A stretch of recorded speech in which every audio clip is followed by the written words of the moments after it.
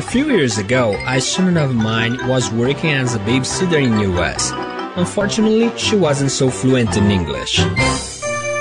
Okay, little girl, I'm gonna put you to sleep now. The little girl freaked out and started crying. The mother, hearing the little girl crying, came rushing into the room screaming.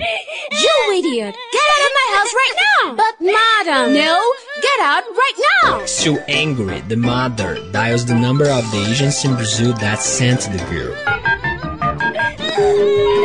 Hello? How dare you send a monster to come and take care of my daughter? I'm sorry, what happened?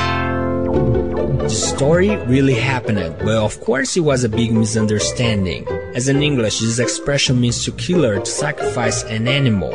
Imagine how shocked and frightened the little girl was when she heard that. Moral of the story In order for the daily situation not turn out to be an horror movie, the babysitter could have said, It's time to go to bed. It's bedtime.